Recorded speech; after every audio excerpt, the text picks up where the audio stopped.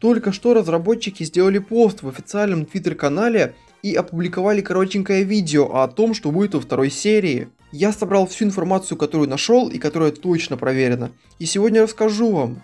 Постараясь, не растягивая видео, как другие блогеры, за пару минут рассказать всю основную суть. Только сначала, пожалуйста, если не трудно, подпишись, это очень поможет моему каналу достичь 2 миллионов. Первая крайне интересная вещь, которую мы увидели, это комната Помни. Она идеально подходит ей по стилю и имеет большую кровать, правда спать ей не требуется, большой комод и зеркало. Ну а также кучу игрушек, поскольку это как бы цирк новые локации. Мы очень долго этого ждали и наконец увидели. Конечно, полную и подробную информацию мы увидим уже в новой серии, а пока нам доступен вот такой вот чертеж комплекса. Кейн сразу его скрывает, но мы видим, что это так называемый объект X, похожий на большую арену. Очевидно, что из этого можно сделать логичный вывод. Испытанием второго эпизода станет либо какое-то соревнование, либо битва с кем-то. Следующая немаловажная тема это новые персонажи, которых нам показали целых 8. Показали их, конечно, буквально на долю секунды без комментариев, но в общем давайте посмотрим. Первым стал динозавр-ковбой с бутылкой в руках. Вторым то ли из пузырьков, то ли из стекла милый чувачок. Далее непонятный проигрыватель, не очень понятно какую роль он будет играть. Похожий на шоколадную лепешку монстр, видимо призрак то ли бурундука, то ли хомяка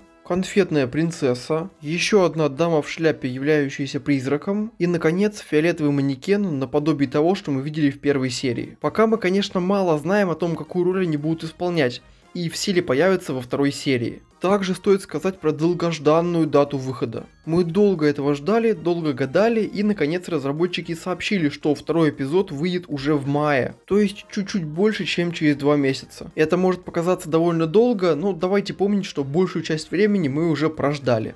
Пока это вся информация, которой мы обладаем, и если вы увидите что-то большее, то скорее всего это надумано самим автором. Кстати, у меня довольно много видео на канале, посвященных цифровому цирку, поэтому можешь переходить и смотреть. Ну а так, желаю удачи и еще увидимся.